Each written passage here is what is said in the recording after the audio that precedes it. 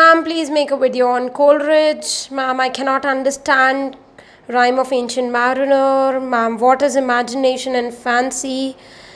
Ma'am, please make a video on Coleridge. Hi guys, welcome to my channel. I'm Arpita Karwa and I was just going through the comment section of my YouTube videos. And guess what I found?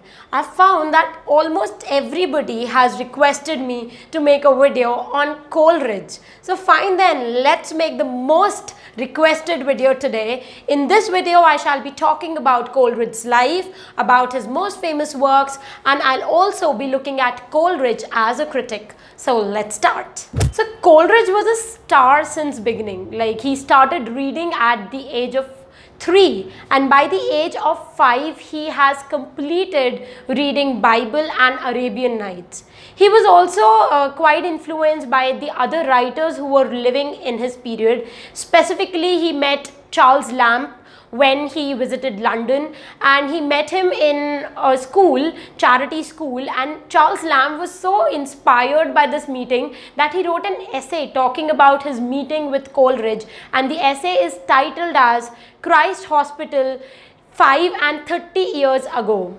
Then he also met Robert Southey who is another fellow romantic poet and with whom he started to build a utopian society for which he named Pantisocracy. So this was the utopian society which Southey and Coleridge wanted to build but then the venture was not successful. People did not come and live there so it was a failure. But then Coleridge did not lose hope. He then befriended William Wordsworth with whom he started to write his first poetries and the collection of poetry was published as Lyrical Ballads and Lyrical Ballads is the first romantic poetry collection which marks the beginning of the era of romanticism. Very few people know that Coleridge has also started a paper which is called Friend and this paper was devoted to truth and liberty. Apart from that, if you look at the life of Coleridge, it was not always a bed of roses because he suffered from various diseases and he took opium as a painkiller so that uh, it can help him to feel the pain less and that is how he became an opium addict. Apart from that, he also suffered from bipolar disorder. So, his mood swings बहुत होते थे Coleridge के. Apart from all these things, even after so many challenges, so many difficulties in his life, Coleridge wrote some of the most amazing poems and that is the reason why he is regarded as Sage of Highgate. This was a question in September 2013 when they asked that who is called Sage of Highgate and it is Samuel Taylor Coleridge who is regarded as the Sage of Highgate. Highgate is a place where he lived and that is why he is called Sage of Highgate. Coleridge has written a lot of poems like Christabel, Frost at Midnight and the most important one is Rime of the Ancient Mariner. Rime of the Ancient Mariner is a poem which is celebrated as a literary classic. And there's this beautiful line in the poem that water, water everywhere and all the ships did sink. Water water everywhere and nor any drop to drink. This is a beautiful line where he kind of tells us that in spite of having so much water around, the people on the ship, they were dying of thirst. So that is the ironical thing which is there in the poem. And this poem was particularly inspired by James Cook's second voyage of exploration. What we don't know about this poem is that the poem is divided in seven parts. This was asked in June 2013. And when I read this question for the first time, I was amazed because almost every time I uh, read this poem, I tend to look at certain important factors but never did it occur to me to check out how many parts is this poem in. So do remember this uh, particular thing about the poem that the poem is divided in seven parts. Apart from that Coleridge has written a lot of other poems like Kubla Khan and then Christabel. These two poems are in fragment and uh, Kubla Khan especially it was inspired from an opium dream that he had. I cover all these poems in detail in my online audio course. So if you are really willing to prepare for UGC NET English then you can go to my website and check the list of writers I uh, use in order to complete the syllabus of UGC NET English. So you can find the details on my website about my course. We are providing online mock test series as well with the course. So you can join the mock test as well as you can join the course so that you can prepare in a full-fledged manner for UGC NET English. We all know Coleridge as a poet, but very few of us are aware of the fact that Coleridge has also written a play. The play's name is Osorio. Osorio is a play which was written by Coleridge. Actually, it was originally written in 1797 and later he changed the title and he published it again after 16 years and the new title was Remorse. So now the play that we know is Remorse the original play was Osorio and the title was later changed by Coleridge himself. The play talks about this man Osorio who is led by temptation and in the process of that path, following that path of temptation, he commits a lot of sins. We all know that Coleridge and Wordsworth together published the great book of poetry collection that was called Lyrical Ballads.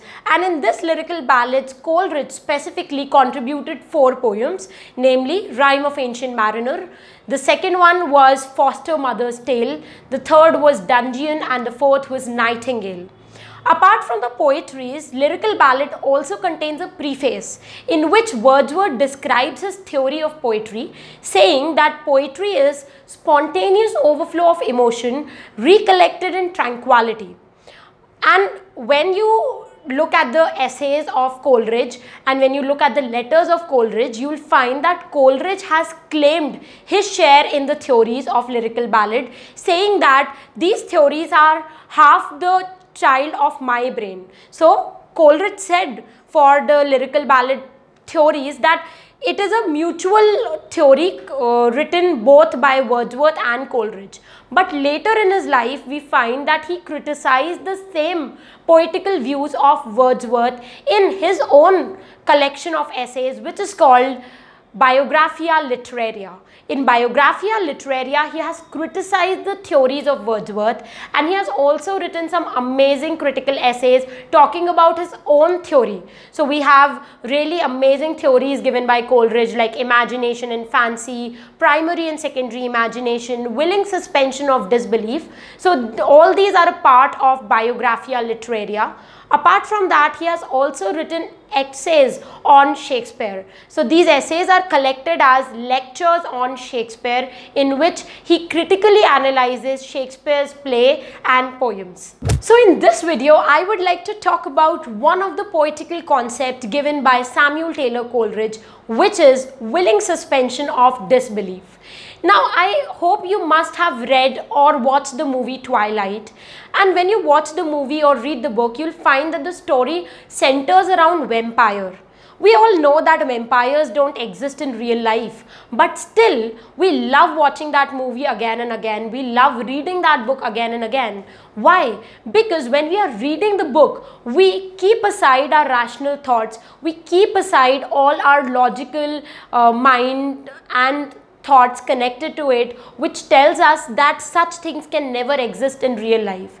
So for the sake of the pleasure of literature, we have to keep aside our rational thoughts and involve ourselves into the fictional world. Only then we will be able to experience the world, we would be experience the writing. This is what Samuel Taylor Coleridge calls as willing suspension of disbelief. When you willingly suspend your disbeliefs, we were kids when we used to watch uh, cartoons. And in those cartoon we used to see talking cars and flying monkeys. Now we knew that such things never exist. But still for the sake of getting into that world for the sake of getting pleasure out of watching those things we used to suspend our disbeliefs हमें पता है ऐसा कुछ नहीं होता real life में but फिर भी हम अपने लॉजिकल माइंड को साइड में रख के एक बार उस चीज़ को सच मान के एक्सपीरियंस करते हैं and that is how you take the full experience of a piece of literature this is what Coleridge calls as willing suspension of disbelief.